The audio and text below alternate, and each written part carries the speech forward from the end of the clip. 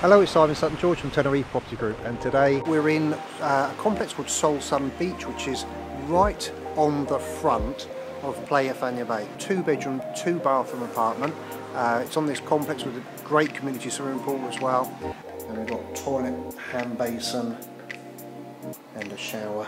The first of the two bedrooms. The lounge, so you've got a big open kitchen here, American style kitchen, big lounge with sliding doors out onto that terrace, ensuite bathroom. But then you've got the bedroom here, as I say, with those sliding doors straight out to the terrace. This is what everyone wants to see and a lovely view